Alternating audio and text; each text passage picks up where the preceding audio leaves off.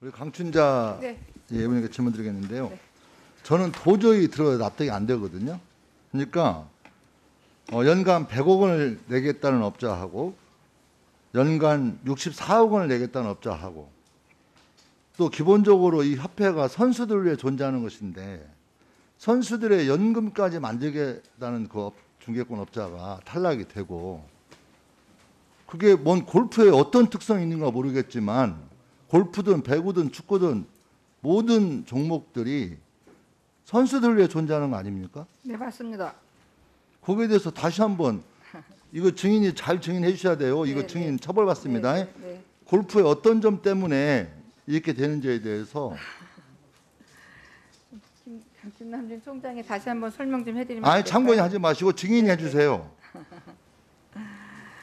음, 제가 잘 정리해서 서면으로 의원님한테 보내드리도록 하겠습니다. 제가 지금 잘 말이 안 나오네요 이 자리에서요, 의원님 죄송합니다. 아니 지금 증인을 거부하는 거예요? 증인 아닙니다. 네, 지금 증인께서는요 네, 이번 중개권 네, 저 같은 경우도 의심이 많이 가요. 네, 이해할 수가 없는데 네, 거기에 참여하는 선수들이 네. 의혹을 제기했어요. 그 의혹을 제기한 선수들을 일일이 확인하고 그래서 다 고소고발 해가지고 선수들을 완전히 지금 그렇게 한 거 아닙니까? 그렇게 지금 선수들을 고발한 적이 없습니다, 의원님.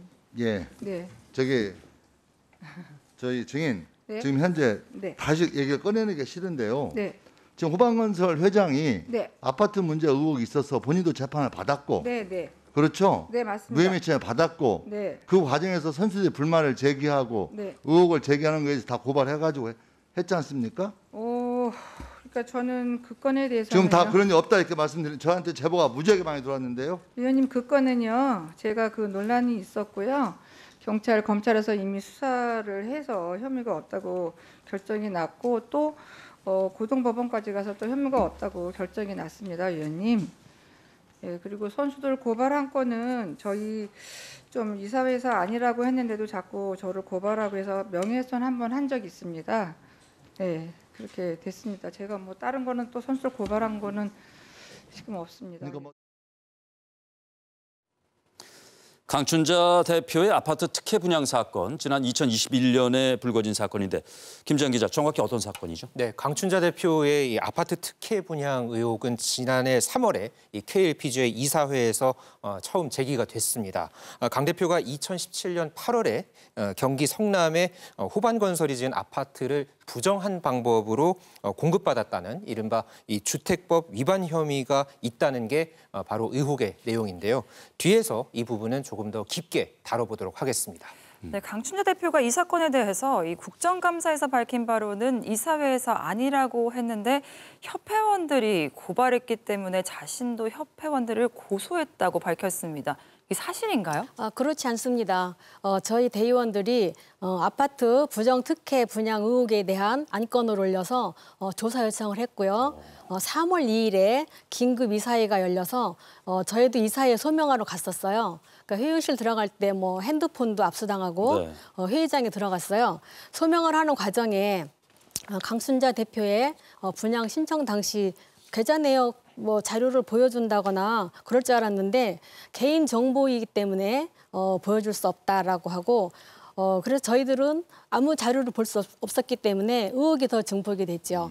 어, 그래서 음, 기- 그런데 그 다음 날 어, 안건을 올린 대의원들을 상벌위에 제소했다는 호. 어, 기사를 신문에서 봤어요. 어. 그래서 저희들은 깜짝 놀랐고 어, 면밀히 조사해서 의혹을 풀어주면 되는 건데 협회 차원에서 조사했으나 문제가 없다 하고 제목도 명시하지 않은 채 저희는 상벌위에 제소가 됐습니다. 그, 그 뒤로 어, 21년 3월 9일 어, 상벌위에서 조사를 받았어요. 그리고 이 21년 3월 17일 협회가 저희를 어, 수서 경찰서에 명예훼손 어, 업무방해죄로 고소를 했습니다. 그리고 3월 25일 또 강춘자 대표는 저희를 협박 강요 미수죄 그리고 명예훼손으로 고소를 하여 저희도 어쩔 수 없이 수정 경찰서에 4월 19일 주택법 위반으로 고발을 하게 된 거죠. 이런 거 처음 해보시는 거잖아요. 네, 그렇죠. 아, 자신은 협회원들을 먼저 고소한 사실이 없고 또 아파트 특혜 분양 사건 외에는 고소하지 않았다고 밝힌 강춘자 대표인데 아, 사실 확인을 위한 증거 자료를 준비했습니다. 화면 보시죠. 2021년 3월 17일 KLPJ는 서울 수서경찰서에 김창옥 외한 명을 업무방해로 고소를 진행했습니다. 3월 25일 강춘자 대표가 강요 미수 등으로 외 여러 명을 상대로 분당 경찰서에 고소를 했고요.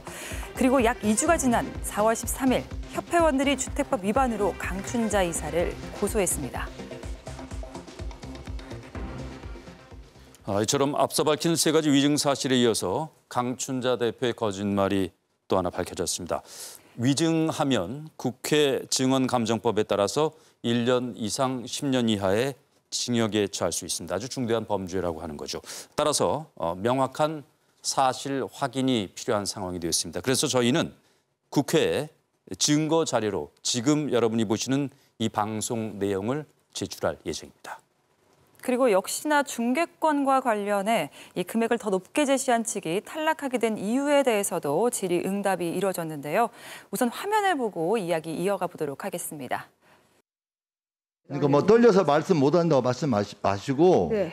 지금 상식적으로 그렇잖아요. 중개권이 네. 한 사람은 1년에 100억, 한 사람은 64억. 선수를 영물권에 만들겠다고 하는 이 기업이 탈락할 수 있는 이유가 뭔 이유가 있을까? 지금 저희가 보면은 가장 큰 이유는 그 양쪽 방송사가 있는데 한쪽에서는 저 아까도 지금 저희가 그 LPGA 대회랑 아시안 스윙이라고 가을에는 여섯 개인가 다섯 개 대회를 그 미국 대회를 국- 아시아권에서 합니다. 그러면 저희랑 동시간대에 KLPG랑 같이 겹쳐서 저희 중계를 같이 할 수 없는 상황이고 또 남자 프로협회 KPGA 대회도 하고 있어서 KPGA가 지금 저 제가 생각할 때는 간단하게 스폰서의 만족도라 만족도라고 하는 것은 가장 고정 시간에 고정 채널에서 다섯 시간씩 하는 거로 지금 가장 저희가 장점이라고 생각하는데 어 그런 것이 좀 아마 제가 그 진짜 아까도 말씀드렸지만 평가위원으로 들어가지 않아서 제가 그쪽에 설명하는 걸 잘 못 들었지만 아마 그런 이유에서 평가위원들이 그렇게 편, 판단하지 않았을까 이렇게 생각합니다. 자, 2차 심사 당시 심사위원들 사이에서는 JTBC 골프가 여러 투어를 함께 생중계를 하기 때문에 이 메인 골프 채널의 고정 편성 가능성에 대한 우려가 있었다고 했는데요. 네, 그렇습니다. 하지만 어, 2차 중계권 심사 당시 JTBC 골프의 발표자가 KLPGA 고정 시간대 편성에 대한 내용을 계약서에 포함하겠다는 확약을 했다고 합니다. 아, 당시 현장에 있었던 심사위원의 이야기 들어보시겠습니다. 국정감사에서 강춘자 이사가 JTBC 골프는 LPGA 아시안 스윙 대회를 하는데 KLPGA와 동시간대 겹쳐서 또 KPGA 대회도 하고 있어서 중계를 할 수 없는 상황이라고 밝혔거든요. 글쎄요, 왜 중계를 할 수 없는 상황이라 말했나 모르겠네요. 왜냐하면 PPT 질문했어요. 지금 하고 있는 방송도 있는데 우리 어떻게 할 거냐. 그때 다른 심사위원이 그럼 우리 경기를 골프 채널에 고정한다는 내용을 계약서에 써달라고 했어요. 그래서 저희도 오케이를 했는데 뭐가 겹치고 중계를 왜 못한다는 건지는 잘 모르겠네요. 네, 당시 현장에 있었던 심사위원들조차 이해할 수 없는 답변이라고 얘기를 했었는데요. 다시 정리를 해드리면 이미 2차 심사 당시 메인 골프 채널에 고정 편성을 약속하고 이 계약서에 포함하겠다는 확약을 했지만 이 강춘자 대표는 국정감사에서 안정적인 방송 편성을 하지 못하기 때문에 이 심사위원들의 판단이 그렇게 된 것 같다고 이야기를 했습니다. 어, 그래서 2차 심사 당시 JTBC 골프 관계자가 발표한 그 발표 자료를 제가 들고 나왔습니다. 이게 바로 2차 PT 당시 JTBC 골프의 발표자가 KLPGA 투어 중계 방송 계획으로 제안한 내용입니다. 여기 보면은 어, 정규 투어는 물론이고 드림 투어, 점프 투어 그리고 챔피언스 투어까지 계획이 상세하게 적혀 있습니다. 이 화면을 보면서 김장 기자가 좀 자세히 설명을 해주시죠. 네. 네, 2차 PT 당시에 JTBC 골프가 제안한 이 KLPGA 중계 방송 계획, 이 seven days live KLPGA 투어입니다. 아, JTBC 골프 채널에서 대회가 있는 기간 동안에는 이 매일 KLPGA 중계를 편성한다는 그런 제안을 했는데요. 물론 이것은 KLPGT도 갖고 있는 그런 자료입니다. 네, 그리고 저희가 앞서 이번 중계권 입찰은 중계권 업체가 이미 내정되어 있다는 의혹을 제기를 했었는데요. 그 의혹이 이 증거를 통해서 사실이 됐습니다. KLPGT 3차 이사회 회의록이었습니다. 네, 이번 이 중계권 입찰의 조건 중에 하나가 24시간 골프 중계가 가능한 그런 채널이었습니다. 3차 이사회 회의록을 살펴보면 이 입찰에 참여 가능한 세 개사를 두고 이미 평가가 진행된 것으로 보여지고 있는데요. SBS 골프는 2017년부터 2022년까지 KLPGA 단독 중계권자로 중계를 진행을 했고 현재 타 협회 중계권 계약 없이 SBS 골프를 KLPGA 전용 채널로 운영 중이라고 명시되어 있습니다. 자, 지금 3차 이사회 회의록을 살펴봤는데 그 내용을 보시면 알겠지만 저렇게 보면은 SBS 골프를 염두에 둔 것 아니냐? 이렇게 봐도 되는 것 아니냐? 이런 생각이 듭니다. 네, 저희가 봐도 그런 것 같습니다. 저희 그 회원들 사이에서도 어, 이번 입찰은 특정 업체를 어, 정해놓고 심사하는 것 아니냐 하는 그런 의구심을 가지고 있는 회원들이 많이 있습니다. 네. KLPGT 3차 이사회에서 어, 이번 입찰이 가능한 세계 방송사의 평가가 이미 거론됐다는 거죠.